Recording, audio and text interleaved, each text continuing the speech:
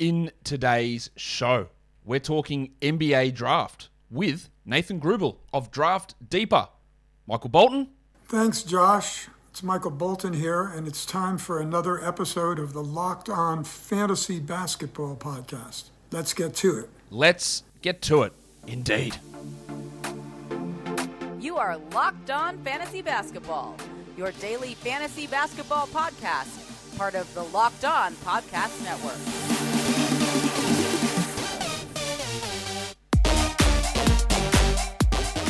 Hello and welcome to the Locked On Fantasy Basketball podcast brought to you by Basketball Monster. My name is Josh Lloyd and I am the lead fantasy analyst at basketballmonster.com and at Yahoo Sports Australia. And you can find me on Twitter as always at redrock underscore and on Instagram at Locked On Fantasy Basketball. Thank you for making Locked On Fantasy Basketball your first listen every day. We are free and we are available on all platforms. I'm recording this before game six of the NBA Finals, so either, hey, congratulations, Golden State Warriors, another well deserved title. You guys have been fantastic, or, oh my God, I can't wait until game seven. It's going to be an absolute cracker. I have no idea because I'm recording this before game six, but, you know, I will talk about the NBA Finals results once we hear about it on the next show after this one. But we're talking with Nathan today, Nathan Grubel of Draft Deeper. We're going to be covering players like Tari Eason, Chet Holmgren, Johnny Davis, Caleb Houstan, Dominick Barlow, and Hyunjung Lee. Lots of very, very interesting players to talk about. So, Warney. Let's get it on, Gilly. Let's bring him in now. Nathan Grubel of Draft Deeper. Welcome. Thanks, Josh, for having me on. I, I, I, appreciate you thinking of me and, and some of the kind words that you've shared with some of the other No Ceilings guys. I'm, I'm thankful to be here. Yeah, there's lots for us to talk about. We've got a, a pretty jam packed show today with uh, prospects, some uh, pretty high profile prospects we're going to be talking about today. And everyone knows the drill, but unless this is the first time you're listening, if it is, hey, welcome. Good to have you here. What we do in these NBA draft prospect shows is ask the host, the draft analyst, hey, who is a prospect that you are higher on than consensus? I'm really interested to dig into this one because I'm lower on this guy than consensus, and that is Big Johnny Davis, the six-six guard out of Wisconsin, 20 years of age. Nathan, why is he good? there, there's a lot of reasons why he's good, Josh. But okay. I, I just want to get into really the point that brings me back to everything else, which is I can't think of another player in this lottery grouping that we could talk about out of all the prospects that we could possibly talk about tonight who had a higher load to carry on both offense as well as defense, right? Like to be not only a 20 plus points per game scorer at the college level in the Big Ten, which is one of the best co- conferences in all of college basketball, he also had to go out there and guard the other team's best perimeter player every single night. So you throw in the fact that he had to do so much offensively to carry a team where he basically didn't have any other shooters around him. It was like Brad Davison and then whoever else they wanted to throw out there. And then defensively, just carrying so much responsibility, shows the playmaking flashes, the scoring flashes. I don't know how you can't like Johnny Davis, but I'm curious why why you're lower on him than consensus. Okay, so yes, he carried a huge load. 33% usage. He scored 20 points per game in 34 minutes. I just look at a player like that. Like he's, I don't think he's never going to be asked to carry an offensive load like that. Right? He's never going to be a 30% usage guy in the NBA. So I can throw out the volume stuff there a little bit. Rebounding, really, really good. Defensively, I, I get that. Um, but you know, he only shot 31%. And we've heard I've heard this argument before. Shout out to Carson Edwards. Oh, he just had to do too much. He had to take all the tough shots. So that's why they, the shots didn't go in. Now, he actually is going to be a really good scorer and good shooter. And obviously, he wasn't. And he was not good at all. And that didn't carry it. Not, not, not to say that won't happen with Davis, but I have a little bit of skepticism about that. Oh, well, once he doesn't have this large load, then he'll just be this knockdown shooter and this great option. To me, he looks like a guy who could be Josh Hart. And there's nothing wrong with Josh Hart. But I don't think I want to spend a top 10 pick on someone like that who's going to be to survive have to be a lower usage offensive player. Not sure what the level of you know, ball handling or pick and roll creation ability is going to be there. Um, is he if he's going to be put into a situation where he's a spot up shooter? Do they actually go in? Because again we have we haven't seen it and there might be reasons for that but there also might not be so i look at a guy that hey he had to carry so much and so much volume was pumped into what he did and that's not going to happen in the nba so i just don't see those roles being similar now you could tell me you can see that translatability and i'm here to listen because my opinion on davis is, is not particularly high at the moment so what about what I said there where you go, Josh, you're an idiot? Like, what are you talking about? Like, what what there was was off? Do you think, or you can convince me on? So the you, the thing you and I have an agreement on is the three point shooting. You mentioned how he did shoot a lower percentage than we like to see at the college level from the three point line. And I echo some of those sentiments. I think he's going to have to adjust to the NBA line his first few years. He might not be a 34, 35% three point shooter, but there's nothing about his mechanics that tell me he can't get there. Everything else, though, once he gets a screen at the top of the floor, once he's able to kind of work his way downhill, get inside the arc, very underrated playmaker at Wisconsin. Some of the assist numbers might not reflect that, but you know, if you're looking for an assist, the other guys on the team have to hit the shot for that to actually that, that count true. towards your stat line. that is right? true. So you, you go back and watch the film and, and some of the cross court passes, some of the things he did out of pick and roll in terms of passing. I think go back and watch some of that film. You might might be a little surprised with some things that he showed there. The scoring, the pull up scoring, the maturity.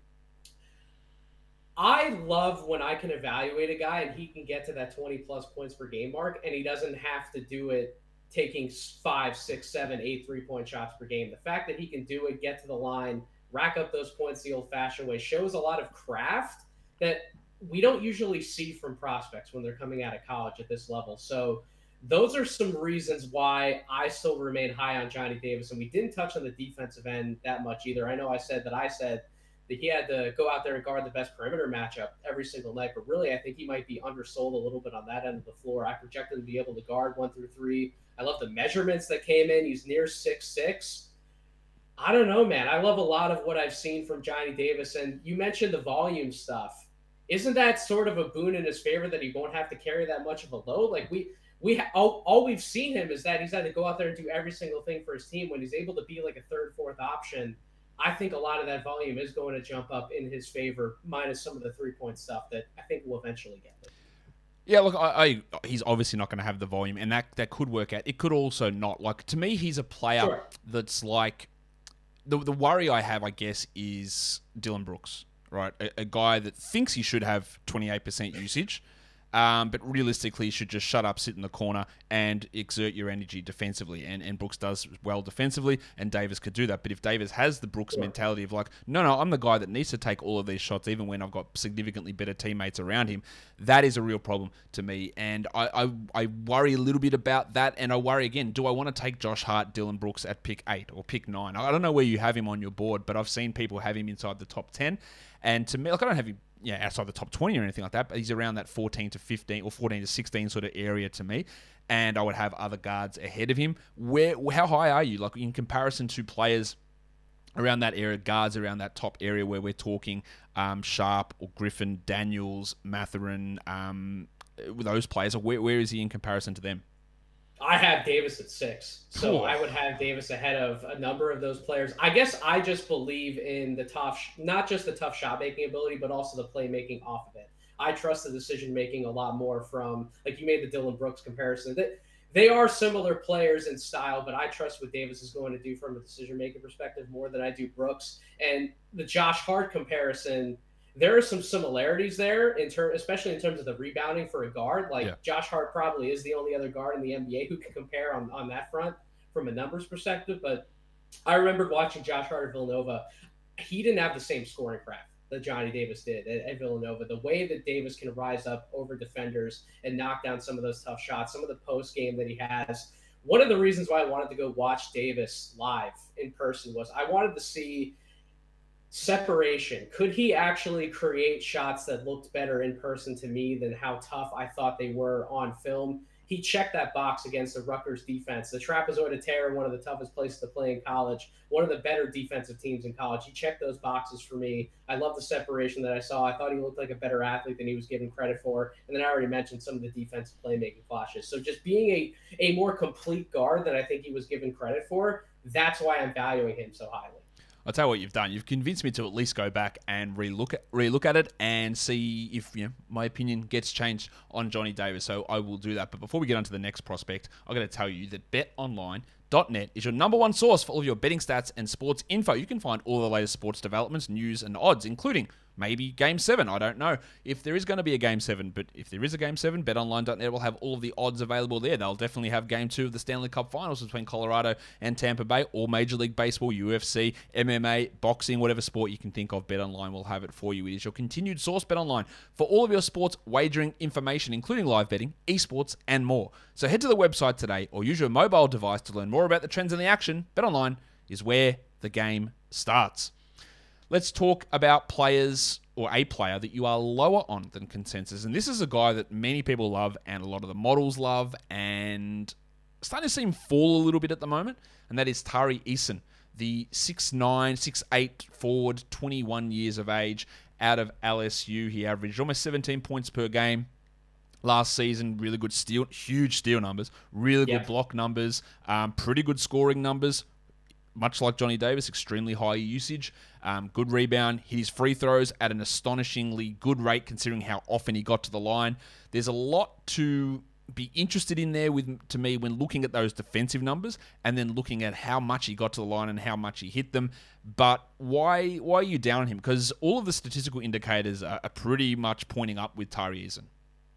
So when I said that I was down on him in relative to consensus, when you and I had that conversation, it's it's funny how things have shifted oh, in the has. public space, mm right? Now his stock is sort of in line more with where I would have him. I have him 18th on my board, and I think if you're getting him anywhere in that like mid first round, all the way out to you know 23, where he's being projected to go to the Philadelphia 76ers right now, should he fall that far, I think that's tremendous value for him. And, and it's more so I would rather pick him there than in the top 10 because I have more questions about Tari Eason, at least when you watch the film. What's he going to do in the NBA in, in the half court, in, in high leverage situations, in half court offense? I have questions about his three point shooting, even though it trended upwards later in the year and the free throw shooting trended upwards later in the year. I have questions about how the shot looks and the mechanics. I don't trust him as a pull up shooter. And then when you look at all of his numbers around the basket, all the finishing numbers are tremendous. But go back and watch what they were on the film. It was a lot of wide open dunks, a lot of transition finishes. And I get it. And and this is something I've admitted on my podcast feed. Maybe I'm underselling the fact that because he can get those wide open opportunities, maybe I should maybe I should put more stock in the finishing. But when I go back and I watch the tape and I see what happens when he has to go up against defenders who are similar size to him or bigger, I don't see that same touch that I would want to see from a guy who we're projecting to essentially live in the paint at the NBA level. So I think some of the offense might be a little fool's gold when talk about the numbers versus the film. Defensive side of the ball, steal rates, block rates, absolutely tremendous. One of the best defensive playmakers that we have in this class, but he's also a big, big, big risk taker on that end of the floor. And he makes some gambles.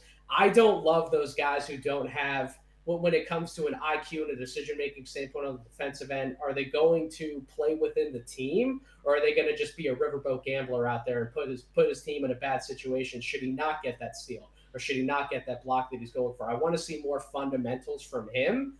At the same time, he could be coached up in those ways, right? Like he, he could go to the NBA within two years. He's gone to a scheme. He's developed that chemistry with his teammates. He's become a better decision maker on that end of the floor to where he is one of the defenders at that best defenders at that combo forward spot. So I might have some reservations with him that he could entirely prove me wrong on on both ends of the floor and he could return top 10 value. I'm just not willing to definitely bet on that and take him in that range. I'd love him more in the mid first. Yeah, he was going in that 9 to 10 zone initially, but he has fallen, and I've got him at 17 at the moment. Um, okay, so we're in the same spot then. Yeah, we are. Look, I, I, I, I like him. I didn't like him in that top ten area, but I, I like him in this, you know, late lottery, early non-lottery type of type of area. Yeah. Um, and yeah. I'm, the usage is never going to be that high in the NBA. That's you know, I can guarantee that. But the defensive stuff, the defensive stuff's interesting. But the thing I worry about is like, what's his position? Like, is he does he have to play at times as a small ball five? Could he ever play at the three? I, I have some doubts about that. I, does the shooting ever come? I, uh, that's there's some of my concerns there. But you're looking at what he does, like a Jerami Grant career path. I, I don't think he's completely out of the realms of possibility. Nope. It, it, took a lot for Grant to get there, obviously, and it took going to a, a terrible team in order to bump his usage. But Eason's got a lot of those interesting things, and, and picking in that area, I think, is pretty it's pretty interesting in terms of if that value can can turn around or, or be be at the level that maybe some people thought a few weeks ago, where he look he could very easily end up being one of the best ten players in this draft class. But yeah, like you, um, I'm a little bit little bit softer on him. Now this other guy is the next guy we're going to talk about is obviously a much talked about prospect, and I haven't talked about him yet, so it's time to do it. It's Chet Holmgren. He 20 years of age. Everyone knows the deal, deal on him. Seven foot forward slash center. Gonzaga the number one prospect or number one talked about prospect from this class for years. Whether he's the number one guy on your board now, that's not really the point here. He's probably going to go in that top three. His numbers are insane, like block rate, rebound rate, good assists, solid steals, good three point shooting. Although I'm not sure he's this good of a three point shooter, where he shot 39% overall. Let's get the elephant or maybe the giraffe neck out of the way now. Is he too skinny for the NBA? I don't think so. Um, I I get that the body is the biggest concern with Chet Holmgren, but not every player at his size with his frame coming in also plays as hard and as aggressively as he does, right? Like even when he gets knocked back or he gets knocked down, he gets right back up and he's ready to hop back into the play and give it his all next possession after next possession after next possession. I think that heart and that character really matters. And the other thing too that I don't hear a ton of people talk about when it comes to his body, he he may have been the tallest player on the court at previous levels that he's played in, but I don't think he's ever really been the biggest, or he's he's ever really been the strongest. And I think the fact that he's learned how to play through some of those quote unquote physical shortcomings, I think will only help him as he keeps going up into higher levels, especially when he gets to the NBA. Because he was one of the most efficient players by the numbers on both ends of the floor in college basketball. So it didn't affect him playing for program at Gonzaga where they didn't just feast off of lower teams in, in the WCC conference. They played against many top teams, including Duke, throughout the year. And there was never a moment where I thought he was physically overwhelmed during the college year. So I get that he's not going to be able to hang with Joel Embiid's and the Nikola Jokic's of the world. How many of these centers coming in though truly can hang with those guys? Right? How many guys? So that, how many guys why... in the NBA can do it? Like, it, Embiid can't hang with Jokic. Jokic can't hang with Embiid. Like, they can't handle each other. Like it's it's it's not like an easy thing to be able to do. Yeah, Rudy Gobert gets in trouble against these guys. Like this is not an easy thing to do, and it's not like when you're watching Chet in college that he's going up for a block and someone just puts their hand out and he flies out of the way. Like he gets in their face and he he, he throws it right back at him. And yeah. It's very easy, and I think it's, it is a bit lazy at times. But look at look at him, look how skinny he is. Those ankles are going to snap. Like that's not how ankles work to begin with, and it just it hasn't had any impact. I don't think really on his play this year or other years yeah. at higher levels, at high school, at AAU, at international tournaments. It's never had an impact. Like people might think, oh, look how skinny he is, I'm going to go at him. It doesn't work. It just it doesn't happen. Like you can't actually go through him and just be he ends up being a piece of tissue paper that you can push through. It just hasn't happened that way. Yeah. Will, I I would be concerned about the body if he had like an injury history, yep. right? Like that's where I would be more concerned. But he, he doesn't have an injury. People talk about him like he has an injury history. He really doesn't. He's been healthy and he's learned how to play through it. The other thing that I think gets some lazy analysis with Chet is that people look at him and go, "Well, look at look, he's seven foot, he weighs 150 pounds, he doesn't, but like he's obviously really skinny." Um, Therefore, he must be uncoordinated and he's going to have no ability to switch onto the perimeter. He's going to just have to stand around like Shawn Bradley and block shots at the rim and not be able to do anything else. And that is just completely false, in my opinion. So, can you do you agree with that? Can you dispel that notion that he is only like a paint defender who has no chance against these other guys on the wing? Because yeah, it's always going to be tough for a seven footer to guard a six foot one hyper speed point guard. But Chet is I, not is not the bottom level of those guys that do that.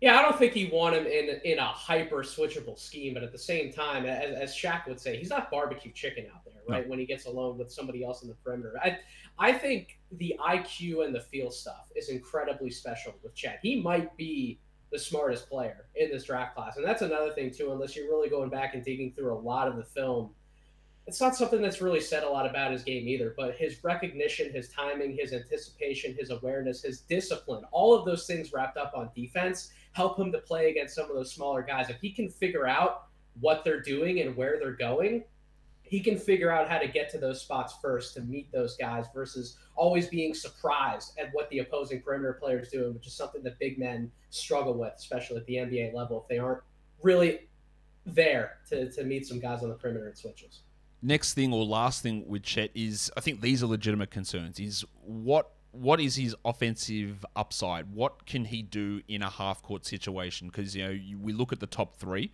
If we're going to say you know uh, Paolo and Jabari and Chet are the top three, like I feel confident that if Paolo gets the ball, like we can run an offense through him and he can generate shots. Jabari, I'm not so sure, and I'm not so sure with Chet how he works in a half court offense. He can grab and go. He can run transition. He can run, run the break, but yeah, is he a guy where it just has to be like almost like Porzingis off screens and hitting deep threes. Like he's not that level of shooter. So where does he fit in a half court offense? I think he's going to be better in the pick and roll game that people give him credit for. That's pick and roll, pick and pop. He was a really good cutter in college. You mentioned some of the transition scoring as well. And then I think if you get him around the elbows and you give him some touches, some chances to actually get some of those shots and opportunities in those areas that Paolo did, Jabari did, I think he can excel in some of those areas. I think he's going to show a little bit more movement shooting things that I think people realize that he's capable of. And if anybody has some questions about how his offense might translate or there being more in his bag, go, go watch the Mike Schmitz film breakdown that, that he did with Chet Holmgren. That gives you a great idea of Chet thinks he has more offensive upside to his game. And I do too. I've seen him, uh, we've seen him, at, I should say, I know ceiling some pre workout stuff, some pre-game he's taking shots and, and, and getting himself in situations, Josh, where he's practicing stuff and, and some perimeter shots, almost like Kevin Durant. And it, it's pretty crazy. It's pretty wild to watch, but I think he's more comfortable than given credit for. And I just wonder if he had some of the same touches as those two other guys and some of those same offensive opportunities instead of being the garbage cleanup guy that he was at times for Gonzaga, I wonder if we'd be having some different opinions shared in the public space on Chet's offense. I have him. I've had him at number one all through this process. I'm almost undoubtedly going to keep him at number one all through this process. Do you have him? Man. Do you have him at number one? Yep. Yeah, I do. I've there was there was a point in like mid to late January where I I slid Jabari Smith into that number one spot. But other than that, I've had Chet number one all year, and that opinion's only grown stronger for, for myself. Well, we are aligned with that one, but let's get on to some lower end prospects now guy that he's you know, the, again the size, the the profile of this guy is really interesting. 19 years of age, six foot eight, wing from Michigan, Caleb Houstan. This sort of player, this sort of size player, is always going to be in demand. Unfortunately, the numbers don't look particularly good. 10 points in 32 minutes, 38% shooting overall, putrid steal, assist, block numbers, low rebound numbers. Attempted a lot of threes, they didn't really go in. All the numbers are pretty rough here from Houstan, but the the size, the position, the theory, I guess, gives some positivity to what he can do. Is that misplaced? Is that just like, oh, we hope because you are the perfect size that it works out? Like, or is is there a reason why it didn't particularly work as we wanted it to in Michigan? I I don't think Caleb Houstan's a good athlete. And I think that's really where a lot of it breaks down. I, I don't see some of the separation ability to get some of those shots off. He is he's almost strictly like a movement shooter and he has to have enough space because if you try and run him off spots, you're going to succeed in doing so because he can't really get downhill well. There's no secondary playmaking chops to really speak of. They tried to put him in some of those situations in the pick and roll, had trouble turning the corner, and then when he tried to finish around the basket, he doesn't get off up, up off the floor well. He's not strong. His shot was getting blocked. He wasn't able to finish around the basket. Like you you outlined a lot of great things, Josh, and he's one of those guys where yeah, he has six foot eight size. He can potentially shoot over defenders, but if you ask him to do much of anything else, he can't really do it. And then if the shot's not going in, especially when you throw in some of the defensive concerns, what's he going to provide you on an NBA floor? And that's really, I think, where the first round case really fell apart. Now he apparently there's wild speculation he's got a promise. He's probably going to go late in the first round. Jesus. I wouldn't take him in that range, but I yeah, as as you said, it's exactly as you said, man. You're really making a bet that that size plus the shooting is going to provide some tremendous value for you at some point in the rotation. I'm I'm not making that bet. And he's a guy I had him like top eight preseason, and he fell all the way into like the 40s on my board. It's one of those things that I talk about on this show all the time, either regarding draft prospects or talking about fantasy basketball. Is that you if you're in a situation where you are getting a ton of shots and they're going in, and that's all well and good, but if they don't. What else do you do?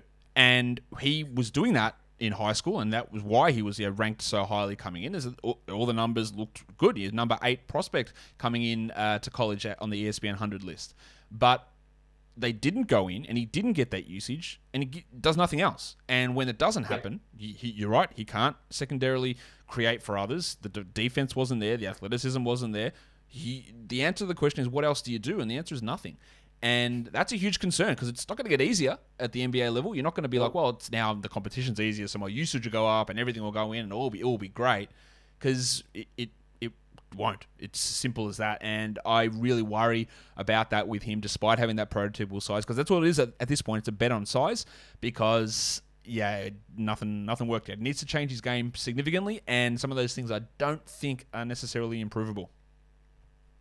I would agree. We're, we're in the same boat, man. We're in the same boat with Caleb Houstan. Well, this is this next guy's a guy that I'm going to tell you I I've, I don't know how to how to judge it because we don't know how to judge overtime elite players. And this is Dominick Barlow. He's 19 years of age, 6'10", played with overtime elite. Again, this is the first year we're getting overtime elite prospects coming through.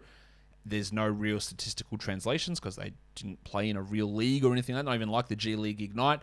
The size is there, almost 6'10", 7'3 wingspan. Um, but h- how do we assess these players? It's tough. It's absolutely tough. I agree with you. The overtime elite experiment is going to be fascinating to watch because for the questions that we could have about Dominick Barlow, who, when you think about the positives, that 6'10 size is real. He's a legit 6'10. He looked really big out there at the combine.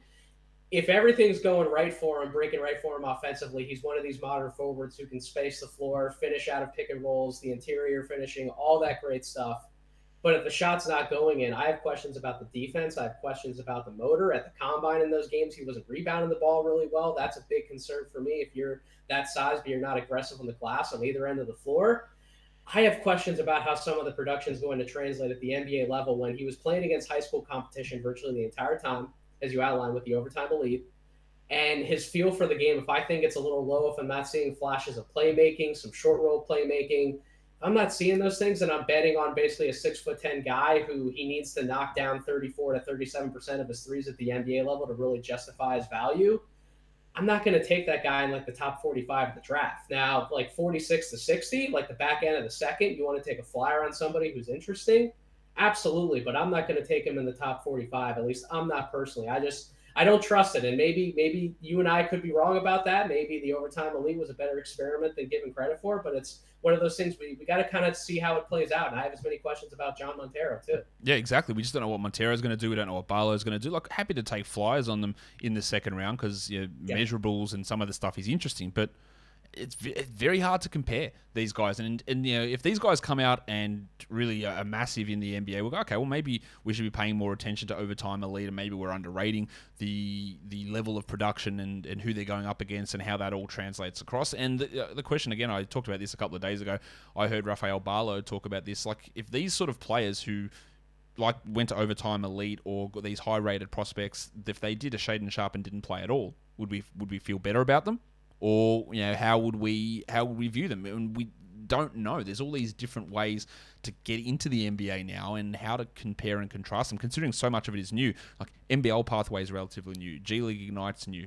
Um, Overtime Elite is even newer. And there's going to be all these different things happening. And, and how to judge those is, is a really tough question. And we'll get more information this year but we won't know for probably five six, seven years as to how to judge this stuff more accurately than uh, than what we are at the moment. The last guy not someone I was planning on doing initially, planning on talking about initially, but when um, Corey was on last week and I asked him give me a top five shooters in the draft, Hyunjung Lee's name came up, and he had him. I think I think he had him at the top uh, of, of the best shooters, or at least in that top five. So I thought, right, let's do a little bit of a dive into Lee, the 22-year-old six-seven guard out of Davidson, who shot 38% from three last season. He's a 40% career shooter across three years. He averaged almost 16 points per game. He attempted six threes, over six threes per game. Is yeah, what, what's if Corey having him top five shooters in this class is that insane? Is that accurate? Would you do you agree with that? I I would agree with the shooting premise. Um, he is one of the best shooters that we have in this draft class. The problem is, is I have questions about literally every other part of his game, and I think that's that's really where I differ from Corey and Albert. Shout out to those St. guys over the Draft Deck podcast. That's where we differ on the evaluation. Like there are some interesting passing flashes that Hyunjung Lee can show off the bounce I don't think he's going to be able to do those same things at the NBA level. I don't buy any sort of athleticism from him. He's very stiff handling the ball, very upright. If all again, we come back to the same thing we talked about with Caleb Houstan. If all he really is is a movement shooter, are you drafting that guy very high? Like personally, I'm not. And if I have even more questions about his athleticism, despite him being tall, he's six seven. But if I have even more questions about his athleticism than I do Caleb Houstan, I'm not going to rank him very high in this class. And then defensively, I don't think he's going to be much of anything at all. Um, he, he's an interesting bet you can make as like an undrafted free agent guy. And if the shooting works out to the level that it did in college, where he's like a 40 plus percent three point shooter in the NBA, sure, he's going to get a cup of coffee in the league. He might even have a chance to, to, you know, to earn a roster spot and then really have a role. But he's not a guy who I would want to draft. I think he's much better as like an undrafted free agent flyer. He averaged less than one steal and block combined, which is not a great indicator defensively. But we've seen plenty of these guys that, that can work out. And yeah, your name, your name, like my my mind goes to names like JJ Redick, Kyle Korver, Seth Curry. But these are three of the best shooters literally of all time in terms of movement shooters and catching off screens and, and spot up shooters. In there, going to consistently hit 44, 45%. Joe Harris, another name in there. Like you're not doing anything else, but you're hitting these shots. And he's, I don't think he's quite at that level. Like we're not talking about a guy that's going to knock in 45% at the NBA level, probably 39%. It's still really good, but you need to be at that absolutely insane level and getting off 10 or 12 three pointers per 36 and hitting them at that level to, to have a team be able to scheme around some of those other weaknesses. And while he might be good, and 40% is good, it's not 44, it's not 45. And that's that's the difference there. Duncan Robinson, another one of those guys, where yeah, if you hit him yeah. at 40, and we saw this year, Robinson went down to like 37%, couldn't play him. He just he wasn't out there. When he hits him at 45, because it's so automatic, then fine. But if you start to drop off, then you can't do it. And these are not yeah, they're not all the same type of player, obviously, but their main skill is absolute elite shooting. And if you're not hitting them at, at an absolute elite level, I'm not sure what else you're doing. And that's that's the number one question I ask with anybody. What else are you doing if this thing doesn't work? And the, the question's got to remain, I think, here for Lee. And, and, and I agree with you 100%. And some of the other things that we could talk about with those other guys, like you mentioned JJ Redick, but like Seth Curry, like Seth Curry is also an underrated uh, pick and roll yeah, playmaker yep. as well. Like there, there are things that these other guys can do. And Duncan Robinson, you brought up as well. That was a great point you made about him just not being playable in some of these situations without knocking down shots. Duncan Robinson's a bigger player and a better athlete than Lee is. So that's that just goes to show you how hard it is. And I, I think if Lee would have shown a little bit more in the G League elite camp and he had – gotten some more opportunities and hit some more shots, I think we might be having a different conversation, at least in the public sphere. But the fact that he got those some of those shooting opportunities and he couldn't even take advantage of, of that situation, I don't know how well it's going to speak to his NBA case. I'm really interested to see. Like, I think he's going to get some sort of undrafted free agent contract and summer league, and that'll be a huge opportunity for him. But you know, I'm uh, maybe the end of a draft. I, I take a look at him, but I think that's sort of where he's going to sit. Nathan, that brings us to the end of today's show tell everybody a where they can find you on social media, but also the work that you're doing, latest episodes over on uh, the podcast and other stuff that you got going on. Well, Josh, I just want to thank you again for the opportunity to be on the podcast today. You, anybody in your audience can follow me on Twitter at Draft Deeper. You can subscribe to the Draft Deeper podcast wherever you get your podcasts. I got an episode with Coach Adam Spinella coming up. We're going to go over my big board in draft tiers. I got an episode with Bryan Kalbrosky coming up. We're going to do some Intel stuff as well. I'll have plenty of mock draft stuff out next week. So definitely make sure you tune into my podcast feed and NoCeilingsNBA.com our free Substack newsletter Monday through Friday. We're pumping out content all the way up and through the draft. So definitely make sure you're tuning in on all fronts. Oh, I'm jealous that you got uh, Coach Spins to come on because we were trying to work out him to come on this show, and then he he bloody got married. It's like, "What are you doing, getting married at draft season?" And I, I couldn't work out the time. Maybe maybe I'll get him on next week now that he's back in action. But go and follow Nathan. Go and subscribe to the Draft Deeper podcast as well. Nathan, thanks for coming on the show with me. Thank you, Josh. And that'll do it for today's show. We'll be back next week with a bunch of mock drafts and some more prospects analysis because we've got to talk about still who have we got left to talk about? Paolo Banchero, Banchero, my God, Paolo Banchero, AJ Griffin, Kennedy Chandler, Nikola Jovic, Jeremy Sochan. A lot of guys to talk about next week. I'm pumped to do it. Follow this podcast on Apple Podcasts, Google Podcasts, Stitcher, Spotify, and on the Odyssey app here on YouTube. Thumb it up. Leave your comments down below, guys. We are done here. Thank you so much for listening, everyone. See ya.